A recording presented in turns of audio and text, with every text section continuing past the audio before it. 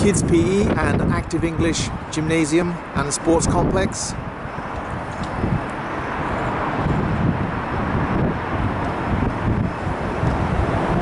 Based here in Suzuka, Mieken near Suzuka Circuit.